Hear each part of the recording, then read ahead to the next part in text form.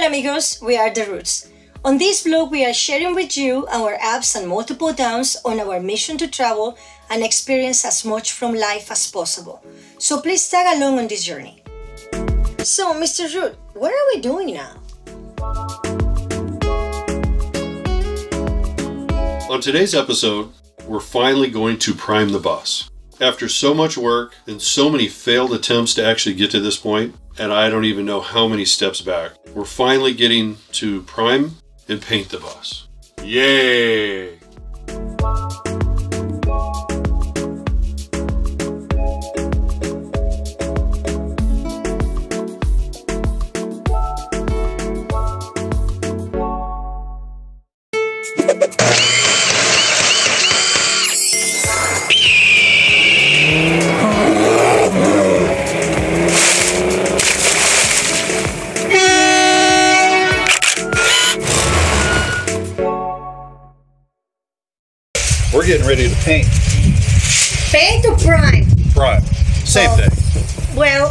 But okay. So we are going to. Now we can see. We are going to start with the inside, Huh? and we're going to prime. And we're adding a special additive to it. We're adding a ceramic additive to our primer, and it's a heat blocker. Okay.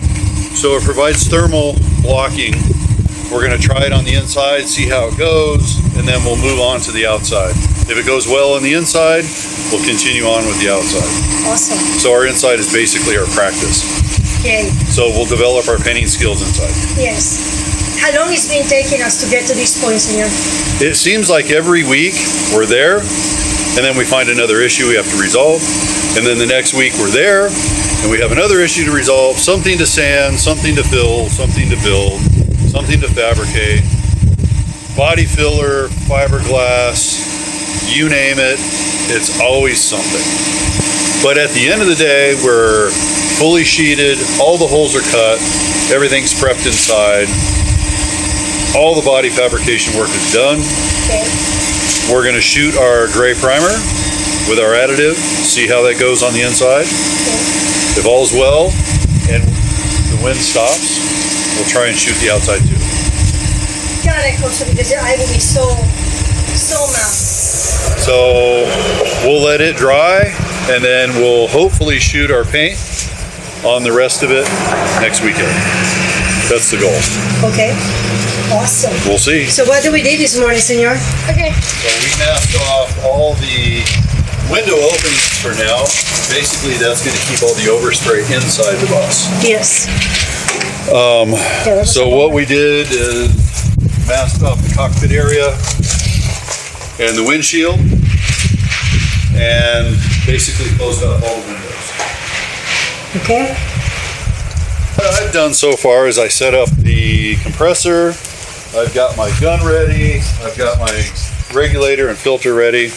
Yeah. Uh, now for this exercise, because we are adding this additive, tell me about it. So we have an additive, and basically it's a ceramic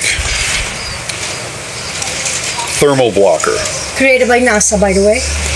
Yes, they've used it, you know, for for Space heat. shuttles Yeah. and stuff. So basically, what it does, the solar rays hit the vehicle, and it kind of blocks it and reflects the the energy back. Yeah. It prevents it from going inside. So a lot of shipping containers, the sea containers, the Conex boxes that come from overseas that have to have temperature controlled, um, they'll use this. Yes. So you can you can actually see this stuff in use in other things. yes. Okay. And what happened? You, you we have to buy a special sprayer with a big nozzle for doing this. Right. So one of the things we cannot use is a airless sprayer, uh, mainly because the tip sizes are too small, and secondly, once the the paint and the additive go through the pump, Yeah. the piston will crush the ceramic and turn it into powder and make it useless. Yes. So you're just adding particles to the paint at that point. Yes. So at least this way, we're spraying, you know, in a, in a cup, a cup style or a pressure pot style. That way, all the additive goes and it's applied the way it's supposed to. Yes. Okay. You read instructions, right? I did. Good. I did. yeah, we don't have value on this. Okay, well, Time to work. time to work. So, how we say in this house? Chop chop. No chop chop. Yep. Chop chop.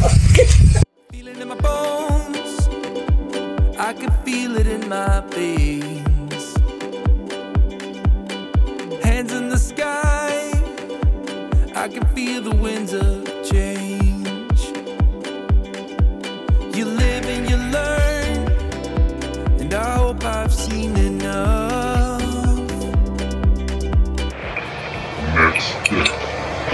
Good morning, Mr. Root.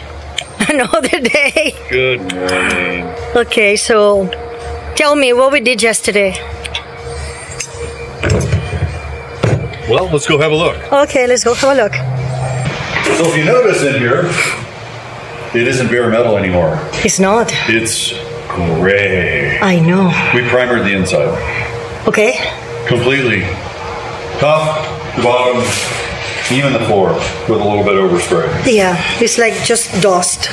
So we had all kinds of bare metal. We wanted to prevent rust.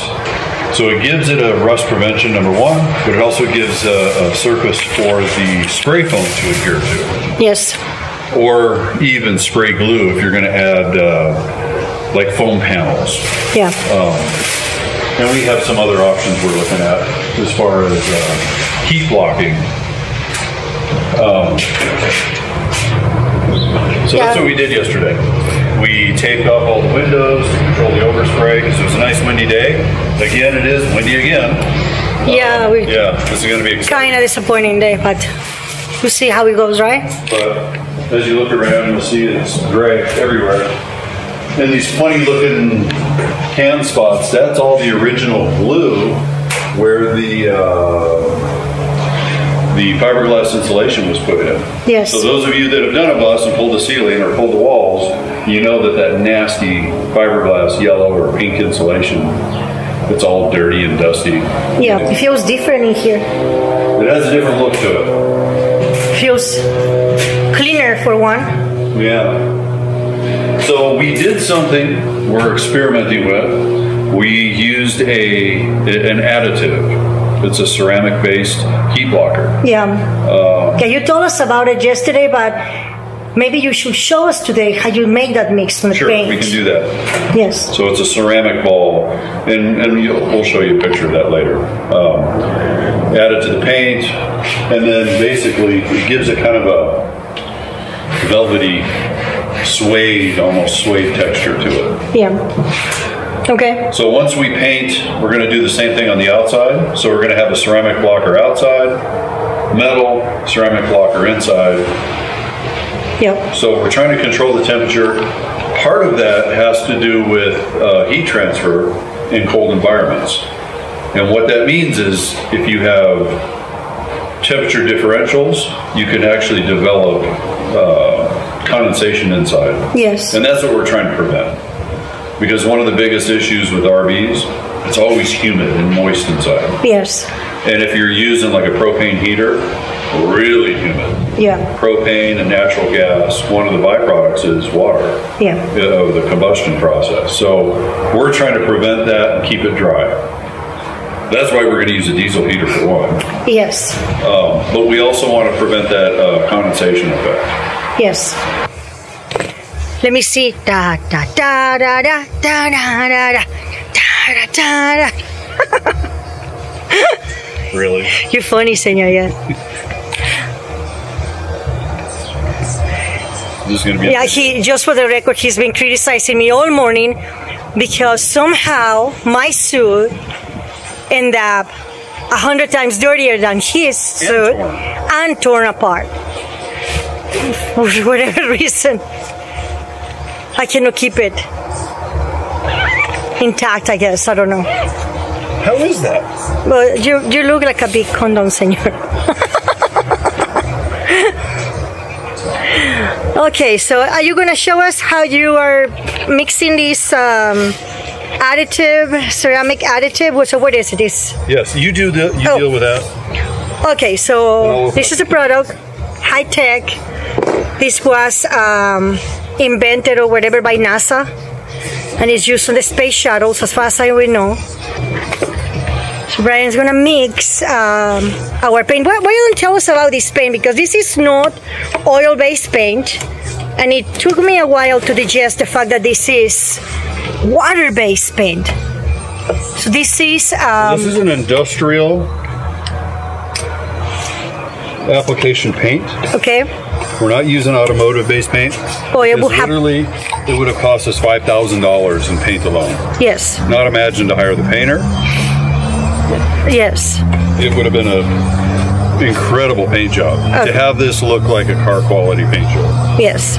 So this is basically what is used to paint metal roofs and you know big industries and those um, like domes, metal dome storage facilities and things like that, right? Chemical, it's chemical resistant, UV protected. Uh, basically, it's it's a it's an industrial application paint.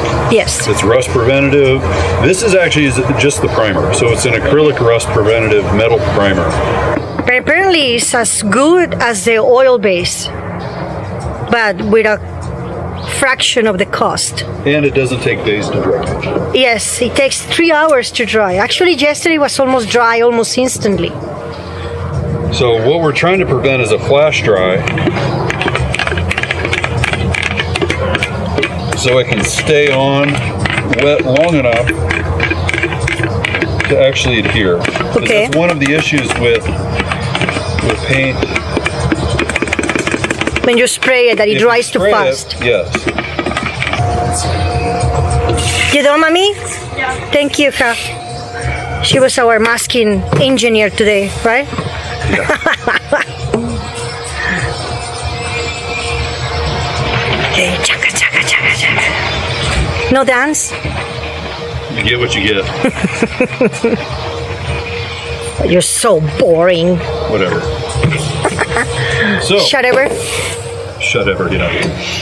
Okay, so tell us about that.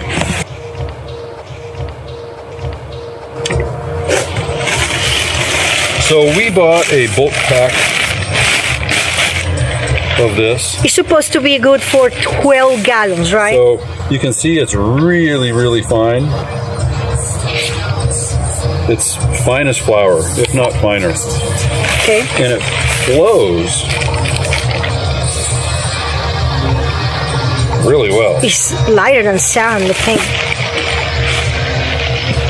So how much are you using? You have to measure So- it. This is one quart, and it even tells you one quart to the top of the line inside the rim, blah, blah, blah. so you add one quart to one gallon. Okay. So each gallon will end up giving you five quarts worth of paint product, plus whatever water you need to use to thin it. Okay.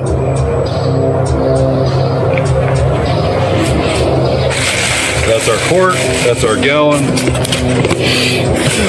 Cooks it really well. It flies, flies everywhere.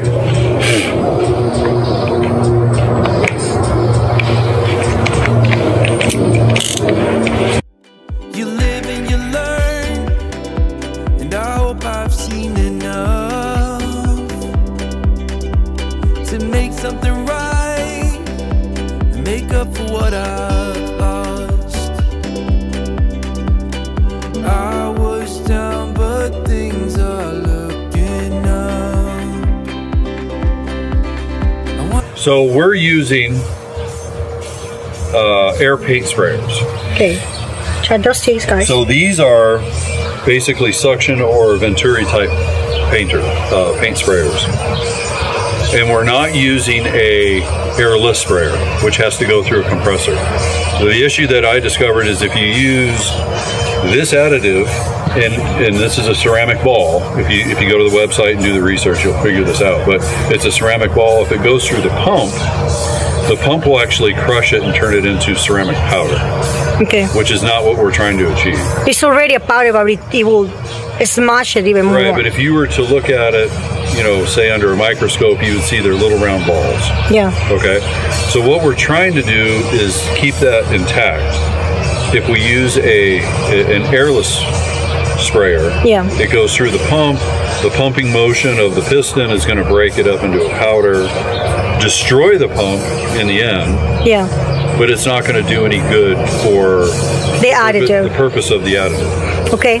So you can either use a suction Venturi type paint sprayer or a gravity feed, which is really what I would like to have. Yeah. They just don't make them with a big enough pot. Yeah, because we we try to find a big enough nozzle. Well, Yeah. that's the other thing is you have to have a big enough nozzle to flow the paint. Now, right now it's really thick. If you look at it, it's very thick. And this might work in an airless, but this will not work in this application. Can you talk, talk louder? The thing is on. So now what I'm going to have to do is actually add water to thin it out to make it thin enough so it'll flow through the nozzle in the paint gun. through the nozzle. Got it. Because if it doesn't suck up the paint, it's not going to spray. Of course. Make sense? Yep.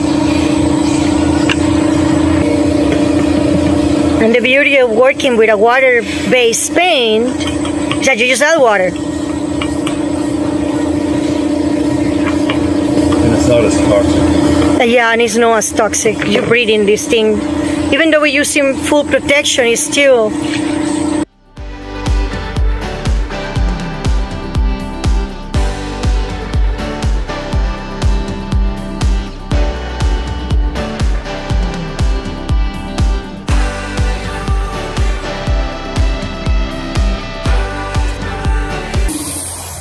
that thin enough? Nope.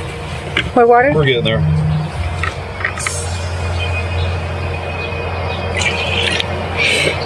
And how you're calculating the water? Just by like I'm just looking I- at the consistency of the paint. So I'm trying to get it thin enough that it'll actually spray and stay wet because I want that wet coat so it doesn't flash dry on me, got it. if that makes sense. Yep.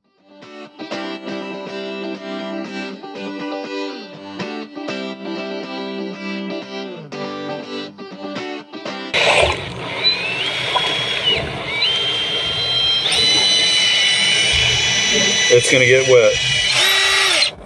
Okay, Okay. We're ready, right? here we go. Okay. Well, let me put the uh, time lapse on. Let's see how it goes. You live and you learn, and I hope I've seen enough to make something right and make up for what I've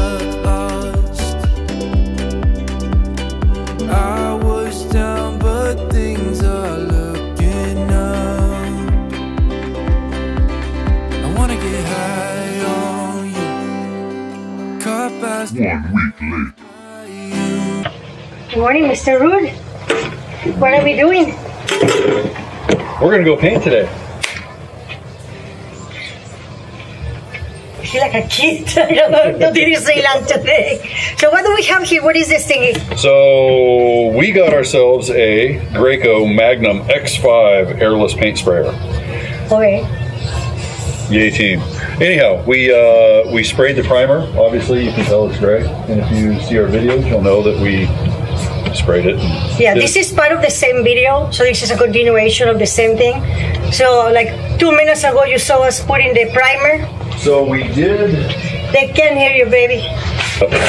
We're using Dunn Edwards uh, Endura Prime and Endura Coat. They work together, and they're meant to work together. Uh, obviously, you could probably use other paints, but um, we went with an industrial coating.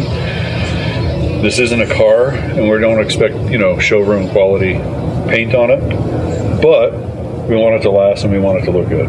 Now we're going to use an airless sprayer, so this will have less overspray, better coverage, so on and so on. But we couldn't run the ceramic through this because it would damage the pump and probably clog the tip. So we're using Endura Prime for the primer and Endura Coat. So Primer, paint. so it's an industrial type coating, uh, UV protected, blah, blah, blah, blah, blah. You can go online and look it up for yourself. Um, we decided on our colors and we got it color matched at the factory store. Yeah, the, we- the top is called um, Wells Gray. Wells gray, yes. That the bottom is called sheet metal. Sheet metal. Funny. Sheet Um, metal. Funny story. That is the same color that the new Aston Martin. The Aston Martin and Porsche used something called China Gray, and that color matched with Dunn, Ed, Dunn Edwards paint as sheet metal. Sheet metal.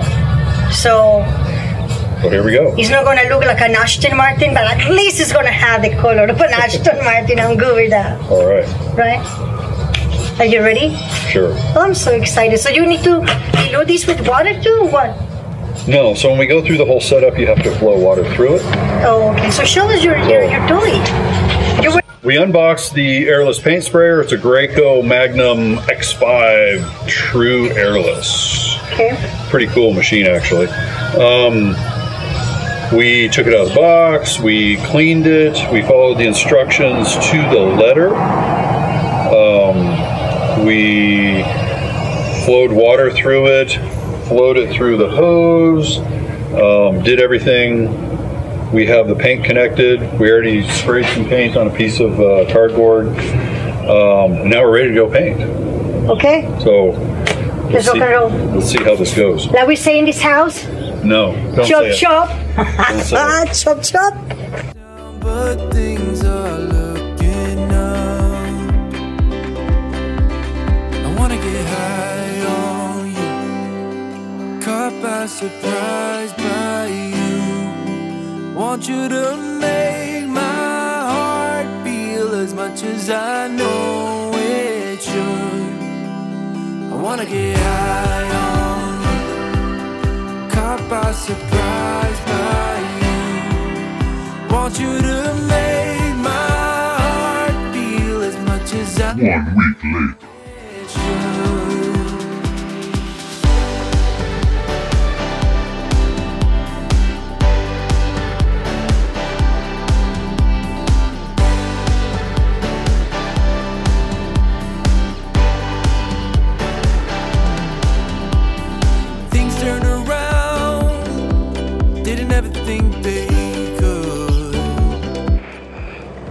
Mr. Root. Hi. How are we doing today? Exhausted. I know. it was What did we do awesome. today? Wow. Tell us about it. So we got the idea that we were going to use a different, brighter color for the split, the accent color. Yeah. So we entertained about 15 different paint colors, and we narrowed it down to about three, um, or four, maybe I don't remember. so anyhow, we decided on a color because before we painted it, painted it, it started to look like a prison bus. Now it looks like a happy prison bus. and when you see the colors, you'll understand if you haven't already. So keep in mind, yes, I'm, I'm looking at the colors and yeah, it looks like a prison bus, but it's going to a special place where happy people go. Um, so anyhow, we we literally took most of the day just taping and masking and papering all the stuff that we wanted to, That was a nightmare. It almost is caused a divorce. and it sucked. Yeah. But at the end of the day, it's like, yeah, we're moving along, and the side that was in the sun, the paint starts sagging and letting go. So we have a little bit of overspray we have to deal with. Hey, Mr. Root. So what happened? You couldn't live with that color, huh? So we painted the center stripe with something called Surfside. Okay. It was a very happy blue. Yeah. We thought it was going to be a good breakup between the gray and the tan, which you guys will see in a minute.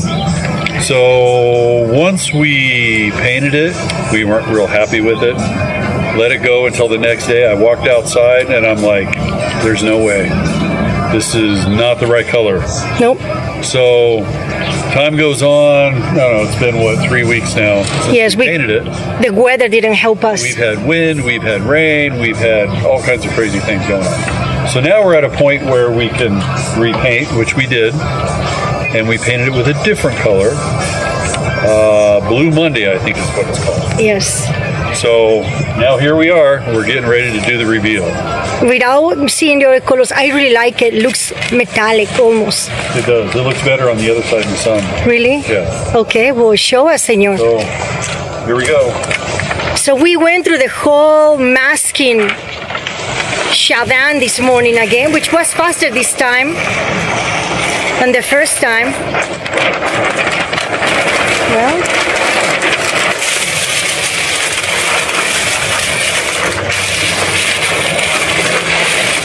Well, what do you think?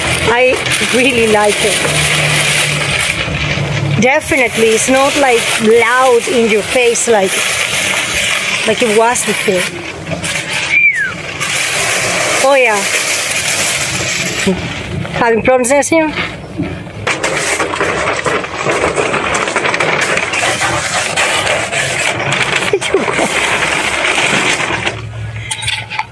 So that's it. This is it. This is it for the paint job. This is yep. Finally, it's on. We're done painting. Well, we need to retouch, but that's gonna be the girls. Well, here's the thing. If you don't like it, too bad. Too bad. I like it, so I'm good. I'm okay. I like it.